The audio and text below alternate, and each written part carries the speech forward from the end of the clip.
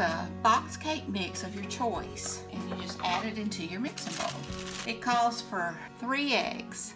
And to that, you want to add one extra egg too if you want it really rich. Where your cake mix calls for a half a cup of vegetable oil, you want to use melted butter instead and you want to double the amount. Where it calls for one cup of water, we add one cup of whole milk and then you add a teaspoon of vanilla.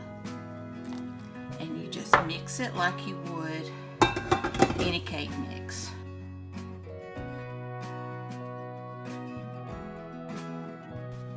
And here are my three cake layers.